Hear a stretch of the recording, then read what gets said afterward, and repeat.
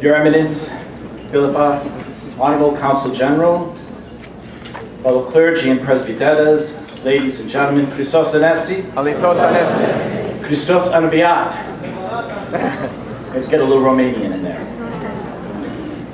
On behalf of the clergy of the metropolis, I take this opportunity to congratulate all the recipients of the 2013 Laity Award.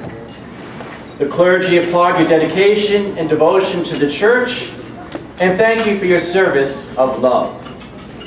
We especially recognize the young adults chosen by our parishes who are entering leadership positions in the church. As Father Ted said, this year the clergy, along with His Eminence, have been devoting much time to young adult ministry. Our metropolis, shepherded by His Eminence, are reaching out to empower and equi- equip young adults to reach their God-designed potential. We know that the road to adult maturity is paved with series of challenges to be met and conquered.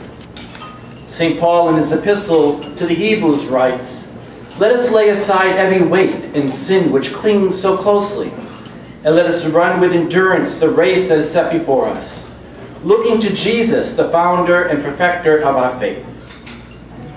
The journey of those in their 20s and early 30s is one of transition, an exploration in vocation, identity, a purpose, relationships, and spirituality.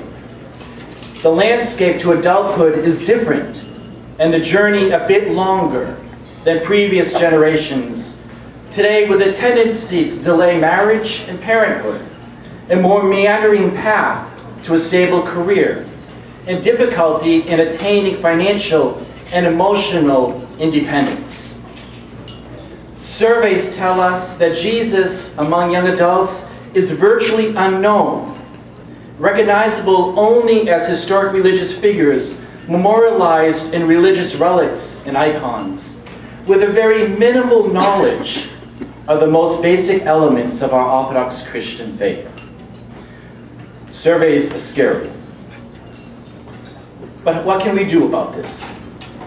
Scripture teaches us that what is most needed, what is most needed, is spirit, mature spiritual adults willing to develop personal relationships that invest Christ's grace, truth, and love into the young adult's life to help empower and equip them to reach their God-designed potential.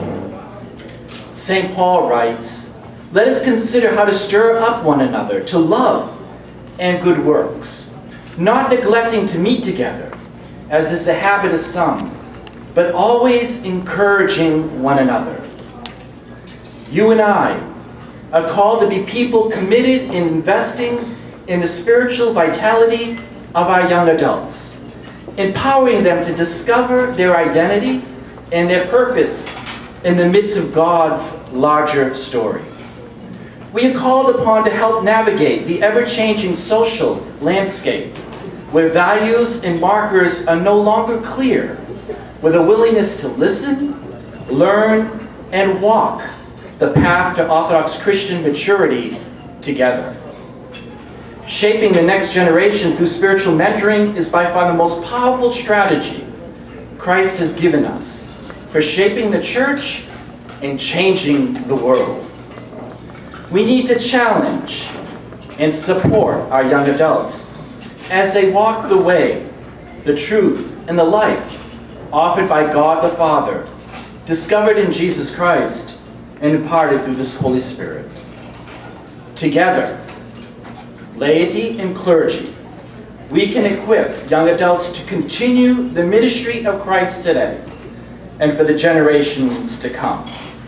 This is our task we ask you to help us to take a young adult, be a spiritual mentor, walk with them, talk with them, guide them in their Christian journey, so that the church that we have today will be a church that is much more stronger tomorrow.